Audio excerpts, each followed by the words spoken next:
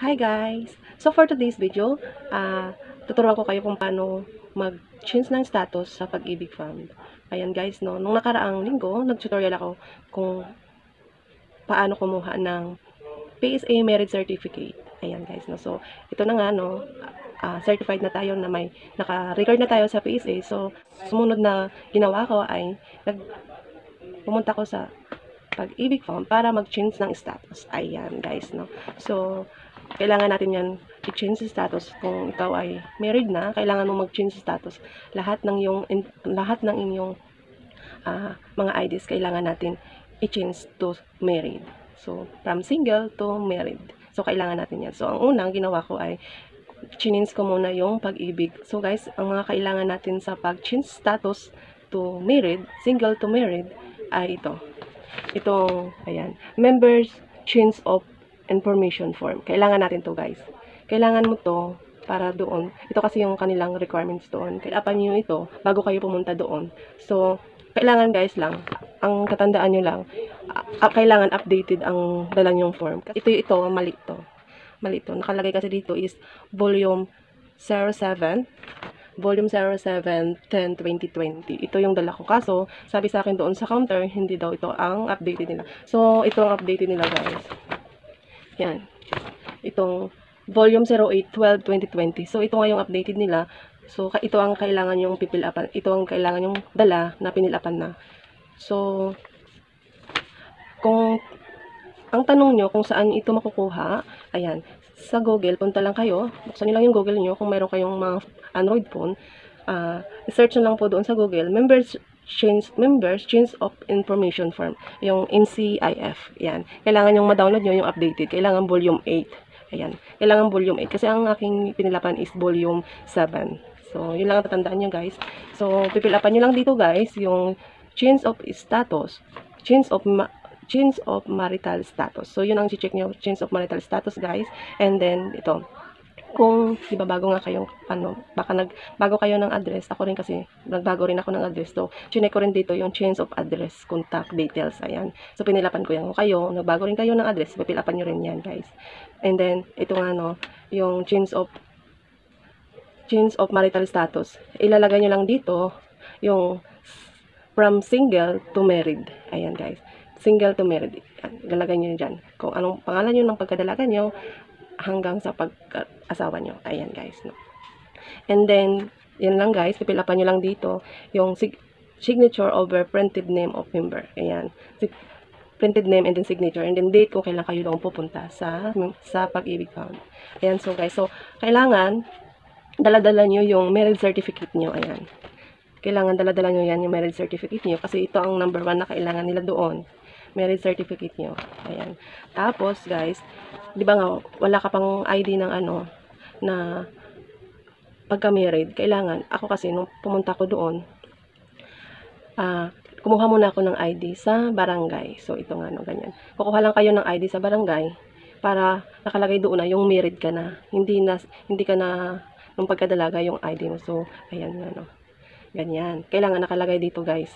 Married na. Ayan. Ayan dito kailangan nakalagay dyan married na. Yun ang ipipresent nyo doon. So, sana natutunan, may natutunan kayo sa tutorial na to. Tapusin nyo lang to guys. May, ma- may sasabihin pa ako guys na kailangan yung gawin. So, ito na nga no. Kailangan nyo to. Tapusin nyo lang po itong video na to at meron pa akong sasabihin. Ayan.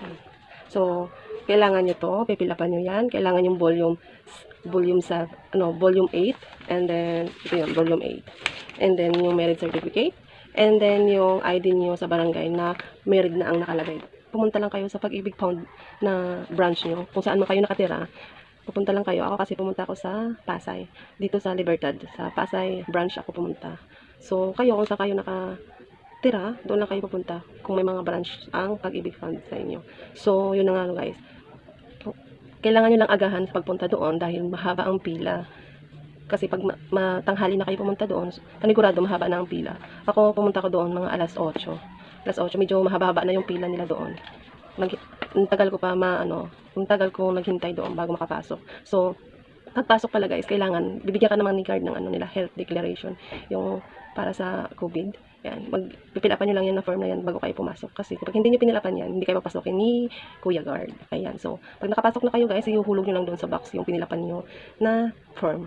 And then, ah, pagpasok nyo doon, pupunta kayo sa information information sa counter and then ipapa-screening nyo kung ano kukunin nyo. Isasabihin nyo, i-declare nyo kung anong kukunin nyo doon kung anong purpose nyo sa pagpunta doon and then ibibigay nyo yung, yung inyong uh, papilis na dala para i-screening ni ma'am. And then yun ang ano, bibigyan kayo ng queue number para naman doon sa counter. Ayan, para na nga i-change status kayo. Ayan. Ayan, so may queue number ka na nga no guys. Ang queue number na yan, yan yung yan yung ano mo para tawagin ka doon. Makikita mo naman sa video na to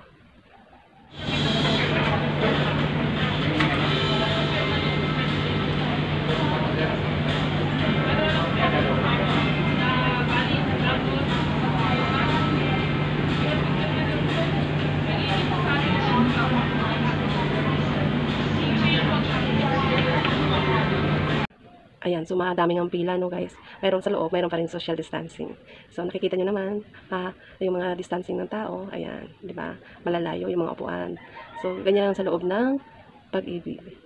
Tapos guys, dyan sa monitor na nakita nyo, ayan, ganyan.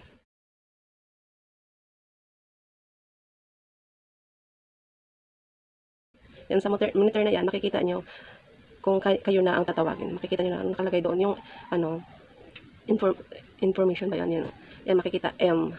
M kung anong M ka. Ayan. Kung titingnan mo lang, diyan ka lang, diyan ka lang titingin kung ikaw na ang tatawagin sa counter. Tapos nakalagay doon kung anong counter ka kapupunta. So doon, pagdating mo sa counter, ibibigay mo lahat ng inform- information mo, lahat ng mga papilis mong dala. Tapos sasabihin mo doon kay sir kung ano ang yung purpose. Ayan. So dyan guys, pagkatapos, pag nandiyan ka na sa counter na yan, sasabihin mo na rin na kukuha ka ng, ayan, ganito guys pwede ka na rin direct kumuha nito. Sabihin mo lang kay sir na kukuha ka ng pag-ibig ID. Ayan. Loyalty card pala yung tawag ito. Loyalty card. Ayan guys. Direct pag tapos na niya i-encode yung information mo para sa change status mo nga. So, sasabihin mo lang na kukuha ka ng loyalty card. Ayan guys. So, one day processing lang to guys. One day processing. So, ang galing. Kasi, nung pumunta ako, ang bilis lang na paghihintay. Kailangan matyaga paghihintay. Ayan. Pero nakuha mo na ang iyong kailangan. Loyalty card na nakalagay dito ay married ka na. Ayan. Ang, ang kinagandahan nito guys, meron na siyang ano, cash card yan. Oh. Pwede mo i-savings siya. Dito sa, ang nakaano sa kanila is Union Bank. Ayan. One day processing lang to guys. And then kung magkano, ito guys, 125 lang siya. Ayan. 125 lang siya. Ang bayan nito. Meron ka ng ID na married ka na. And then meron ka pang cash card. Ayan. So, meron na akong ID na pag-ibig fund. Ayan, may loyalty na ako. Loyalty. Loyalty card ng pag-ibig fund. Pwede ko na siyang savings. Ayan, so. Sana ay may natutunan kayo sa video na to. At paki-click ng notification bell at paki-subscribe na rin para sa aking mga i-upload. Para sa aking mga bagong i-upload. So, don't forget to like, share, and subscribe to my channel. Bye-bye!